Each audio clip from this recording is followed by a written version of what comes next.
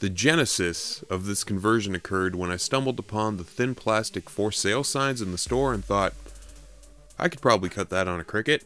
I don't know why, but something feels wrong about gluing paper to plastic miniatures, so I thought I'd give this method a try. If you saw my Possessed Kit Bash video, you'll remember I cut out plastic templates to sculpt custom wings, and now I'm going to attempt to make a custom tower shield and a miniature for a fellow player's character in the Pathfinder campaign we're currently in. Completely unsolicited by him, by the way.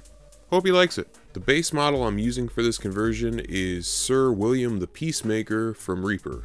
I'm kind of fickle. Fickle! And tend to jump around a lot when working on these kit bash conversions, so ignore the various states of completions the miniature is in until the end. I can't make sense of my process. So I'm doing my best to present this in a way that's somewhat linear. I'll make your ass linear. Anyway, the character's name is Brant. I'm a little foggy on his classes, cleric and fighter maybe? Regardless, Brant trudges around in full plate, always teetering on the edge of encumbrance, and he has a halberd and a tower shield. Oh, and he's evil with a penchant for setting stuff on fire, so that's fun. He worships Szuriel, the Horseman of War, so I thought I could adorn the tower shield with Szuriel's unholy symbol. It's described as a pale hand holding a black sword upward. Funny enough, this was the only image of the symbol I could find online. Pale hand, black sword. I redrew the symbol to be a bit easier to cut out and just winged it the whole way through. I didn't set the blade on the Cricut to the right material, so I had to cut through scored plastic instead of having it just cut out for me. I glued the design onto a thicker piece of plastic and then cut that out. First one wasn't large enough, so I made another one and tried again. I wanted the shield to be slightly curved, but I couldn't make it work. I tried dipping it in boiling water with no luck. I didn't use a heat gun because I was afraid I would melt the mini in the process. So I cut it out one final time with a reworked hand design to make it easier on myself. The Horseman of War is rocking mittens now, no big deal. I made a border piece to make the back of the shield look a bit more interesting.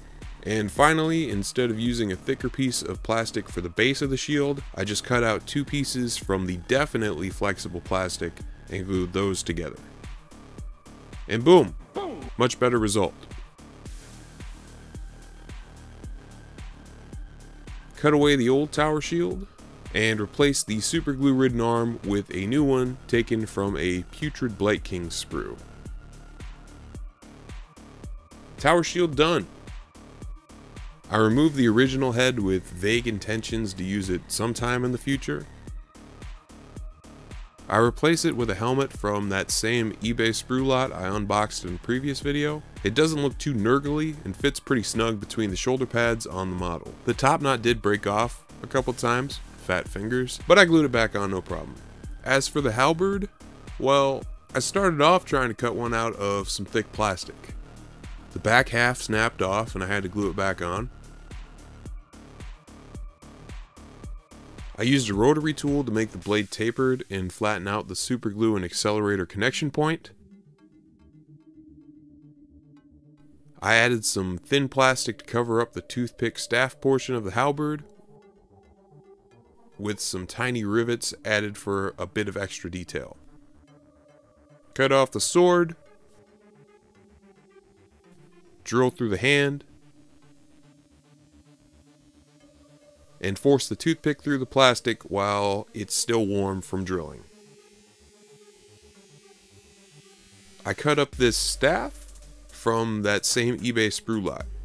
Really trying to get the most use out of that stuff. And then cap the bottom and top of the halberd. This was perfectly fine as is, and I could have been done, but I'm Fickle! and something was telling me to Change it! So I dug into some Blood Warrior, Blood Reaver, Blood Something models and put together this axe and short sword knife and swapped them out.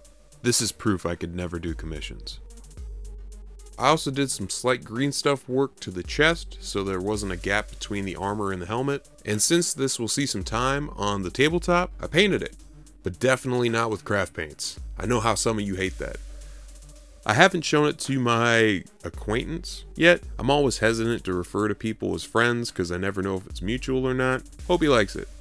So, I was recently visited by a shadow entity who told me that the sarcastic tone I've used in the calls to action in my previous two videos was unprofessional, so I apologize. I've been told that if that kind of behavior were to persist, I would be subject to extensive content creator reprogramming training, which sounds scary.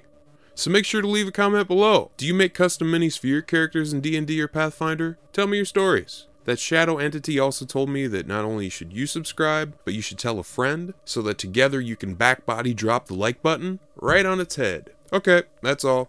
I've got like five partially done terrain pieces to get back to, so thanks for watching and hope to see you soon. Bye.